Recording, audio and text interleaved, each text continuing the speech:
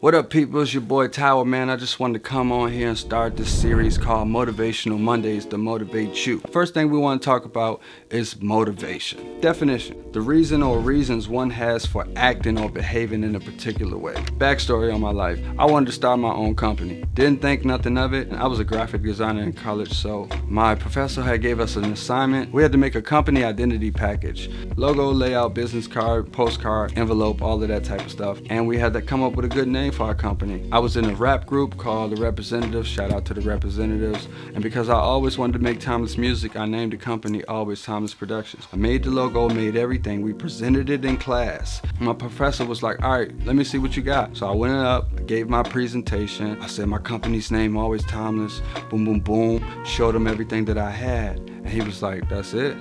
And I was like, yeah, what you mean that's it? Because he said that, I basically ran with that. I went out, I bought me a camera.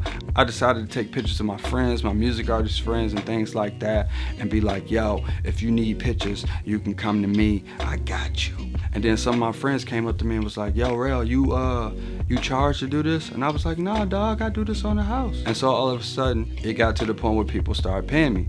And so I was like, yo, I could really do this. That started something for me. And so from there, basically what I did was I stayed grinding and I stayed working. So fast forward through all of that, I end up starting my own production company. called Always Timeless Productions. But the three major steps that helped me pull this off was Number one, I wrote out my plan. I decided to write out a plan.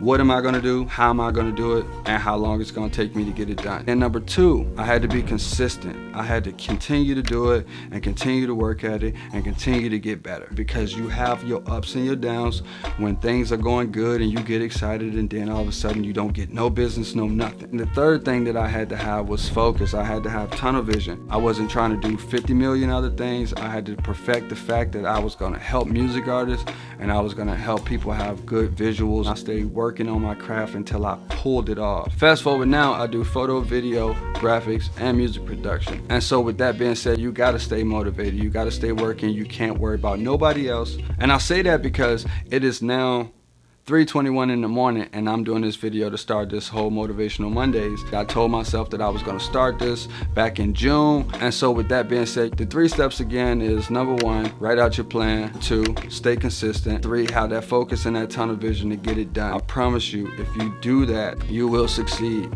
Nothing happens overnight. It's a long journey and you gotta stay motivated in between those times. So make sure y'all leave your comment down in the post, man, if you have a subject or have something that you wanna be motivated on. And I'm here to help man. Make sure you sub, like, and press that bell to make sure you get those notifications when I post another video. Because I'll be here every Monday with these videos along with other videos on my YouTube channel. Other than that, stay tuned, stay grinding, stay working. It's your boy Tower signing off.